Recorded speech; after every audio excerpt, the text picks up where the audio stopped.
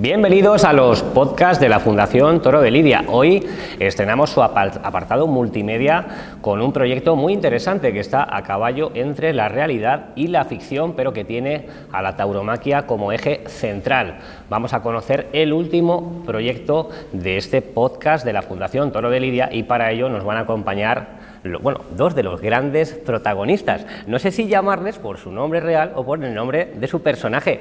Vamos a saludar a Marta Figueroa. Buenas tardes. Que es Ágata eh, en esta ficción y a Roberto Saavedra. Roberto, que interpretas a Juan Carlos.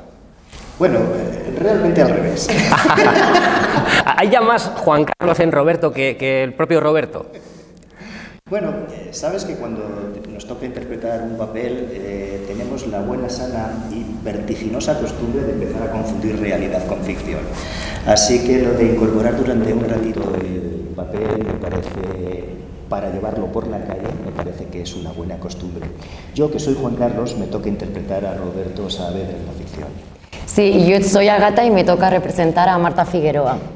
Bueno, estamos hablando de representar porque en esta realidad paralela que propone la Fundación Toro de Lidia se habla de un cambio en la historia de la tauromaquia y de un tratado que es previo, eh, que, es, eh, bueno, de alguna forma eh, sería más importante que el del propio Pepe Illo y que está descubierto en unos legajos y que provoca una realidad alternativa.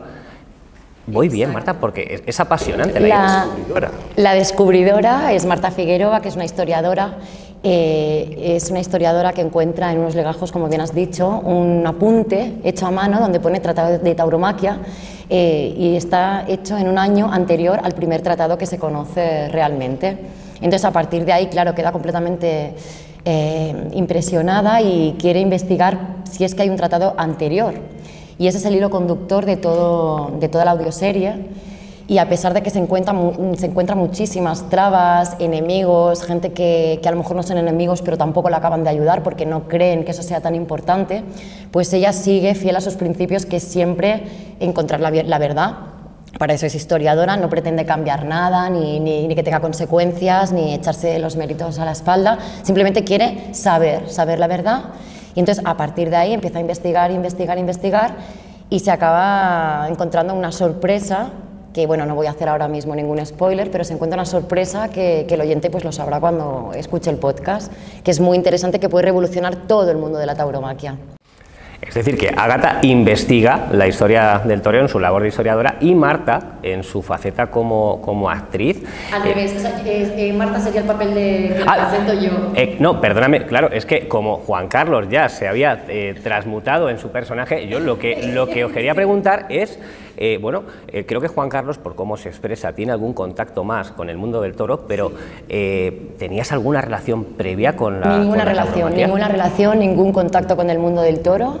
Eh, nada, o sea, mm, soy catalana y aparte, o sea, allí mismo, por ejemplo, yo en mi familia no, no hay nadie que nunca me haya hablado del mundo de la tauromaquia, ni tengo amigos, ni, o sea, no tengo ninguna relación con todo esto y me pareció un proyecto eh, súper interesante y que me iba a permitir acercarme muchísimo a este mundo y aprender muchísimas cosas y así ha sido, no solamente de cultura general ¿no? sobre todo esto, sino de, preguntas más simbólicas, más filosóficas sobre qué es, eh, cómo viven los taurinos todo esto, por qué este mundo sigue adelante, qué es lo que les despierta, ¿no? un poco la parte más artística, la parte más profunda de todo esto. Entonces ha generado un debate tal como se genera en el personaje y en la historia, eh, se ha generado también en mí, porque era una persona totalmente ajena y me he visto a mí misma haciéndome preguntas que no me hubiese imaginado que me iba a plantear y teniendo pensamientos que, que no me hubiese imaginado. Y, por ejemplo, ayer mismo, eh, hablando con una persona sobre todo esto y el personaje, cómo estábamos haciendo la audioserie, etcétera, esa persona se, se estaba, me estaba hablando de todo este mundo y me lo estaba transmitiendo de tal manera que se me estaba poniendo la piel de gallina y me sorprendí a mí misma diciendo, ostras, ¿no? jamás hubiese dicho yo que, explicándome corridas que ha visto y momentos concretos que él ha vivido o momentos en los que se paralizaba la plaza entera, que yo antes, pues no, es que no supiera el porqué, es que ni me no me lo había ni preguntado, era una cosa muy... Y me llegó a poner la piel de gallina realmente, entonces yo pienso que, que sí que está interesante haber hecho esto. Nos sorprende eh, que haya hoy en día personas que se dediquen al, ámbito artístico que tengan esa apertura de mente, porque Juan Carlos, hoy en día no es fácil decir que uno es aficionado a los toros o reconocerlo en ciertos foros, ¿no? Yo, yo tengo una eh, procedencia familiar manchega de Albacete, como algún que otro periodista. Me suena. Sí, tengo una vinculación afectiva familiar a este ámbito.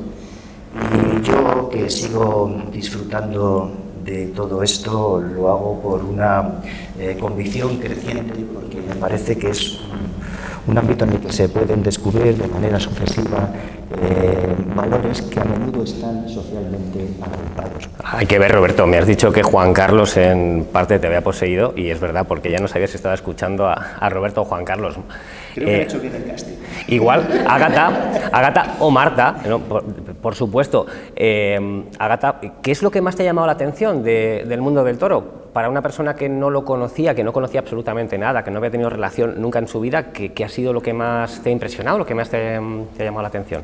Pues esto, que la gente se llegue a emocionar tantísimo. Yo pensaba que era algo más, eh, pues, quién vencía, ¿no? Si el torero o el toro. lo, veía un poco como más ABC, J Caballo y Rey. Pero veo que no, que, que, disfrutan cada momento del toreo como algo artístico. Eh, se está jugando la vida todo el tiempo el, toreo, el torero, pero no es solo esto, ¿no? es, es esta oda constante, ese juego constante que, veo que, o sea, la emoción que les transmite es mucho más grande de lo que yo me llegaba a pensar. Es, no sé, por hacer una comparación que no tiene nada que ver, pero por ejemplo el fútbol, tampoco soy nada futbolera, y, ahí sí que yo sabía que la gente lo vive desde el primer momento, no es solamente gol y hasta o quien ha ganado, ¿no? que lo están viviendo todo el tiempo. Pues veo que realmente mueve muchas pasiones y que la gente está muy, muy, muy, muy hay gente muy entusiasmada con todo esto y que, que les transmite tanta emoción. Y, has notado, me imagino, lógicamente, nos pasa a todos, ¿no? Eh, pues las personas que conoces te han dicho, pero bueno, ¿dónde vas? ¿Dónde te metes en algo de toros? ¿no? Como que suena un poco descontextualizado. Sí, suena totalmente descontextualizado y, y, en mí más. o sea, era una cosa como que sí les ha llamado muchísimo la atención, algo muy nuevo y supongo que además están esperando que regrese a Barcelona y que les comente un poco cómo ha ido todo y, cuando, y que les explique pues todo esto, cómo lo he vivido y, qué es lo que he aprendido, qué es lo que ha cambiado en mí. Y sí, además es muy curioso porque es un poquito lo mismo lo que le ha pasado al personaje que lo que me ha pasado a mí como actriz. Y entonces es curioso realmente. Entonces puedo entender un poco también el, personaje que hago yo, que haga esa pequeña transformación o que, que, al principio es una persona que no sabe, no es que sea antitaurina, es que no sabe si es taurina o no, no se lo plantea y que luego se descubre a sí misma defendiendo y discutiendo con otro de los personajes, ¿no? argumentando todo lo que su padre le había enseñado durante años. Entonces yo también me he descubierto un poquito a mí misma a decir, ostras, sí, y entonces cuando llegue a casa, a, todo ese, a toda esa parte mía que, que estarán esperando que llegue y que les comente, pues yo creo que sí que les va a sorprender un poco. Y bueno, ¿te gustaría algún día ir a una corrida de toros? Me lo han propuesto, me lo han propuesto y eh, tengo curiosidad, tengo curiosidad. Zaragoza para las... Me da un poco de miedo Sí, hemos quedado, de hecho hemos quedado, es verdad, lo hemos comentado antes. Soy, aprensiva, me da miedo, soy muy sufridora. Eh, de hecho, he dicho que me gustaría verla en diferido, o sea, cuando sepa que, todo ha acabado bien, seré capaz de verla y entonces a lo mejor la puedo disfrutar, pero soy muy sufridora y seguro que estaría como... Y no hemos dicho una de las cosas más importantes, que es el título, que es el Tratado de la Luna Llena.